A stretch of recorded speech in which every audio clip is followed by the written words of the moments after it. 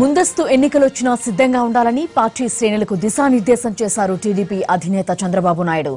కొందరు నేతలు ఏది చేసినా చెల్తా అనే భావనలో ఉన్నారని అలాంటి వారిని ఉపేక్షించేది లేదని వార్నింగ్ ఇచ్చారు. ప్రతిరోజు ఎవరేం చేస్తున్నారో అన్న నివేదికలు మొత్తం ఉన్నాయని హెచ్చరించారు. నిర్లక్ష్యాన్ని ఎట్టి పరిస్థితుల్లోనూ సహించేది లేదన్నారు. ప్రభుత్వ పథకాలను ప్రజల్లోకి తీసుకెళ్ళాలని చెప్పారు. గ్రామదర్శిని పేరిట వారంలో ఒక్కరోజైనా ప్రతి నేత గ్రామాల్లో తిరగాలని సూచించారు. కొందరు నేతలు అసలు ప్రజల్లోకి వెళ్ళడం లేదని ఇది సరికాదని చెప్పారు. మూడో ధర్మ పోరాట సభ రాజమండ్రిలో పెడితే బాగుంటుందని సీఎం అభిప్రాయపడ్డారు. ఆ తర్వాత కర్నూల్ లేదా అనంతపురంలో నిర్వహిద్దామన్నారు. చివరి సభ విజయవాడ గుంటూరులో జరిపే ప్రణాళికలు రూపొందిస్తున్నారు. ఎన్నికలు వచ్చేలోపు అన్ని జిల్లాల్లోనూ ధర్మ పోరాట సభలు పూర్తి చేద్దామని శ్రేణులకు సూచించారు Chandrababu.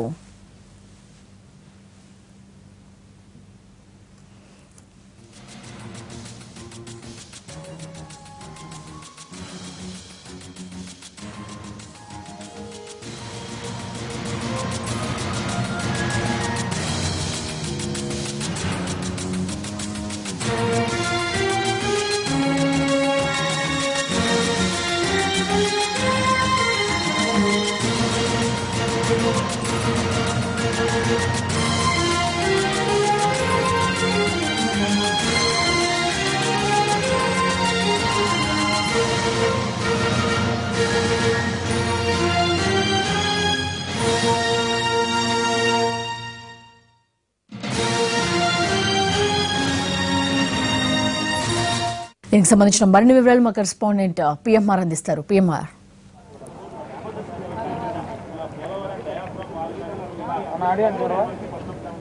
Thank you thank you Jyothi TDP సమన్వయ కమిటీ సమావేశం దాదాపు రెండు గంటల నుంచి చంద్రబాబు uh, సమక్షంలో జరుగుతుంది. ప్రధానంగా రాష్ట్రంలో జరుగుతున్న పరిణామాలు కానీ ఎన్నికలకు సంబంధించిన వాతావరణం దాదాపు ఆ, వేడెక్కిన నేపథ్యంలో ఎటువంటి చర్యలు తీసుకోవాలి ప్రజల్లోకి ఏ విధంగా పోవాలి అనే అంశానికి సంబంధించి ప్రధానంగా చంద్రబాబు నాయుడు పార్టీ నేతలకు పార్టీ కేడర్కి దిశానిర్దేశం చేసే దిశగా ఈ సమావేశం జరుగుతుంది. సో ఈ సమావేశంలో ఈ సమన్వయ కమిటీ భేటీలో చంద్రబాబు నాయుడు ఒక కీలకమైన కామెంట్ని చేసినట్లుగా మనకి ఖచ్చితమైన uh, సమాచారం పార్టీ వర్గాల నుంచి అందుతున్న మేరకు తెలుస్తుంది. стороны. ఏదైతే వచ్చే ఏడాది మేలోగా ఎన్నికల ప్రక్రియ పూర్తి కావాల్సి ఉంటుంది ఒకవేళ ముందస్తు ఎన్నికలు జరిగినా కూడా దానికి కూడా పార్టీ శ్రేణులన్నీ సిద్ధంగా ఉండాలి యాక్టివేట్ అయ్యి ఉండాలి అనే దిశగా చంద్రబాబు నాయుడు కామెంట్ చేయడం చూస్తూ ఉంటే ముందస్తు ఎన్నికలకు సంబంధించి ఒక రకమైన సంకేతాలను పార్టీ శ్రేణులకు ఇస్తున్నట్టుగా చంద్రబాబు నాయుడు ఈ సమావేశంలో మాట్లాడినట్టుగా మనం భావించాల్సి వస్తుంది. అంటే గత కొంత కొన్ని రోజులుగా జరుగుతున్న పరిణామాలు రాజస్థాన్ కావచ్చు మధ్యప్రదేశ్ కావచ్చు ఈ ఎన్నికలతో పాటే సార్వత్రిక ఎన్నికలు కూడా జరుగుతాయన్న ప్రచారం పెద్ద ఎత్తున జాతీయ స్థాయిలో జరుగుతున్న నేపథ్యంలో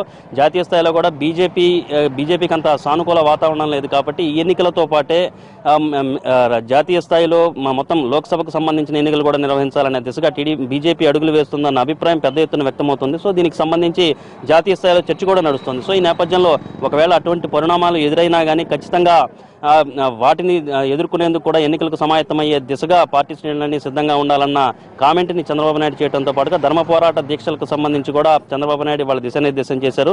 సో నెక్స్ట్ ఎక్కడ జరపాలి? ధర్మ పోరాట దీక్షలను ఎక్కడ జరపాలి అనే అంశం మీద పార్టీ నేతలతో చర్చించి అంటే రాయలసీమలో జరిపితే బాగుంటుందా? ఇప్పటికే కోస్తాలో జరిపారు ఇప్పటికే రాయలసీమలో జరిపారు ఉత్తరాంధ్రలో జరిపారు. సో నెక్స్ట్ ఎక్కడ ధర్మ పోరాట దీక్షలు జరపాలి అనే అంశానికి సంబంధించి కూడా చర్చిస్తున్నట్లుగా మనకు సమాచారం ఉంటుంది దీంతో పాటుగా దళిత తేజం ఏ ఏప్రిల్ ఇరవై తేదీన దళిత తేజం సమావేశం జరగాల్సి ఉంది. అయితే అది వాయిదా పడుతూ వచ్చింది. సో ఈ నేపథ్యంలో నెల్లూరు జిల్లాలో వచ్చే నెలలో వచ్చే నెలలో నెల్లూరు జిల్లాలో దళిత తేజం సభను నిర్వహించాలని చెప్పి నిర్ణయం తీసుకున్నారు. దీంతో పాటుగా ఇతరత్ర అంశాలు రాజకీయపరమైన అంశాలు కానీ అలాగే పార్టీ నేతలు కొంతమంది సరిగా పనిచేయడం లేదు. తన దృష్టికి వచ్చింది. ఇప్పటి వరకు ఉపేక్షించాను. ఇకపై ఉపేక్షించబోనని చాలా స్పష్టంగా ఒక హెచ్చరిక లాంటిది చంద్రబాబు నాయుడు ఈ సమావేశం ద్వారా పార్టీ శ్రేణులకు కానీ పార్టీ నేతలకు ఇచ్చారని చెప్పి మనం చెప్పుకోవచ్చు. ఇంకా సమావేశం కొనసాగుతోంది. ముఖ్యంగా చూసుకుంటా అంటే ఇప్పటి వరకు జరిగిన ఈ సమావేశంలో చంద్రబాబు నాయుడు చేసిన కీలక కామెంట్ ముందస్తు ఎన్నికలకు సంబంధించి పార్టీ శ్రేణులు సిద్ధంగా ఉండాలని చెప్పడం ద్వారా ఒక రకమైన సంకేతాలను ప్రజల్లోకి అలాగే పార్టీ కేడర్కి పంపించే ప్రయత్నం ఈ సమావేశం ద్వారా చంద్రబాబు